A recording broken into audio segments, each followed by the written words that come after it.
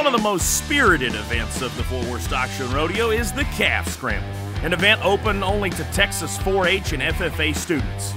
Once the white chalk square appears, you'll know the fun is about to begin as 20 students line up to catch 10 calves released into the arena. When the flag drops, contestants race to catch a calf however they can by the neck, by the tail, or by just getting tackled. Once caught, the student must fashion a halter from a soft cotton rope and place it around the calf's head. Then, lead the calf into the white square. If caught inside the square, they must lead it out and then back into the square.